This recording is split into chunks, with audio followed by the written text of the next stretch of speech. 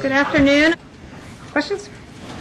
Um, Benazir Bhutto made it sound like her conversations with U- U.S. officials are, uh, that U.S. officials are trying to plan with her and perhaps asked her to participate in a post-Musharraf government. Is that what the administration is doing? That I have not heard. Of course, we have been in communication with um, both President Musharraf and his officials, as well as opposition party candidates and leaders. Uh, What we have been working for them, to to get them to do is to talk with one another, open up a dialogue, and communicate so that they can get Pakistan back on a path to uh, democracy. But I I don't know about any individual conversations. But uh, is there any planning, active planning for how to support a a post-Musharraf government in Pakistan? Uh, the- The the president, who is in the best position to know what his policy is, is to support President Musharraf's getting back to a constitutional government. What are we going to do if he doesn't do it? Uh, We are focused on helping them get back there and to do it, and so that all the moderate forces can work together so that they can establish it. Many are also skeptical of his willingness to do anything that the president wants him to do. This is, the the responsibility for getting back on track is President Musharraf's, and I believe that he does have the Pakistanis' uh, best interests in mind. But you said, so you said the president is committed to helping President Musharraf get back on a path to democracy. Does that mean that the president is committed to Musharraf as the leader of Pakistan? no matter what? Pakistan is going to have to work that out uh, in terms of the, if they, they can get back on the path to democracy and have the free and fair elections for the parliament, uh, then that will be a, a significant step and one that President Musharraf has said he's committed to. Is sticking with Pakistan, is, does that mean sticking with Musharraf?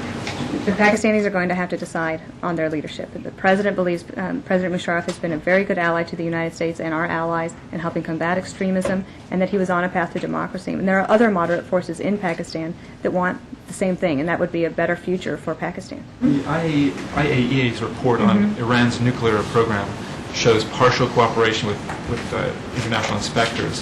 How will this impact the U.S. push for further sanctions against Iran? We believe that selective cooperation not good enough. Uh, we appreciate the work of the IAEA and the Director General. Uh, while the report primarily looks at the history of the Iranian activity for the, a nuclear program, it does say, and let me quote, Contrary to the decisions of the Security Council, Iran has not suspended its enrichment related activities.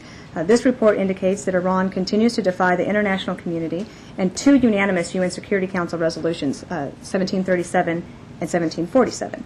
Iran continues to walk away from a deal that has been offered to them. Uh, we've said they can have a civil uh, nuclear program if they'll just suspend their current activity. They have chosen not to, and unfortunately, this report makes clear that Iran seems uninterested in working with the rest of the world, and the current Iranian government continues to push Iran deeper into isolation. The United States is going to continue to work with our partners um, on the UN Security Council, the Perm, Perm 5 plus Germany, on a third set of Security Council sanctions. On the Iran report, um, the United States has been pushing for some time for uh, to consider new sanctions on, on on Iran at the UN. Does this accelerate that process? What are the next diplomatic, formal diplomatic steps that you see as a result of the? Well, as you know, we've been working with our um, allies, and the president had meetings last week with the president of France and uh, Chancellor Merkel, uh, in which we talked about the uh, shared objective to ensure that Iran does not have the capability to have a nuclear weapon, and that we would work together to uh, on a new on a new resolution. And actually, um,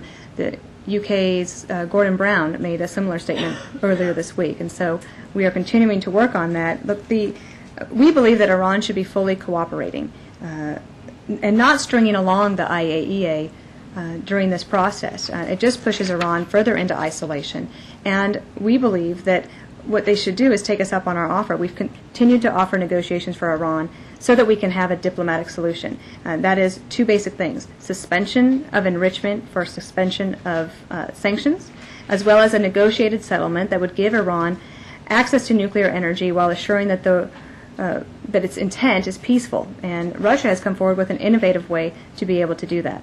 We're going to continue to work with all of our partners in the P5 plus one, and we will try to move forward on a new resolution. Will um, if White House employees and Justice Department people be allowed to uh, contribute to the Alberto Gonzales Legal Defense Fund?